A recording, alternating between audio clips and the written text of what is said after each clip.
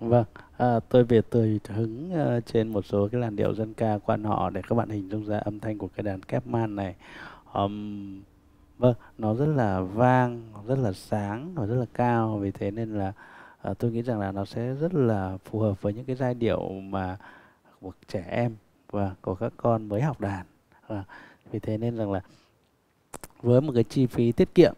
và với một cái cây đàn mà à, trông đáng yêu như thế này Đấy, chúng ta hoàn toàn có thể bắt đầu cho con em mình học piano uh, một cách hết sức là yên tâm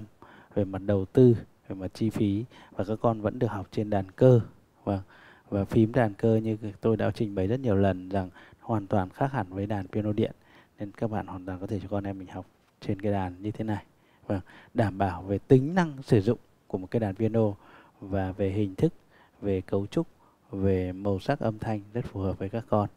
bây giờ tôi sẽ thử toàn bộ phím để các bạn cùng xem.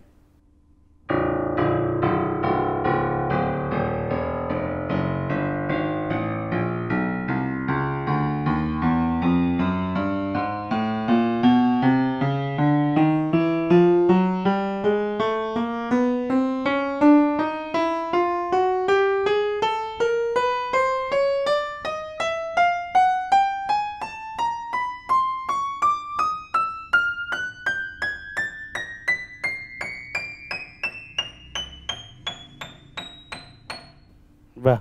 à, màu sắc âm thanh thì tất nhiên nó không thể à, đẹp như Yamaha những cái đàn đắt tiền nhưng với một cái chi phí hết sức tiết kiệm thì đây lại là một sự lựa chọn hết sức tuyệt vời. Cảm ơn các bạn.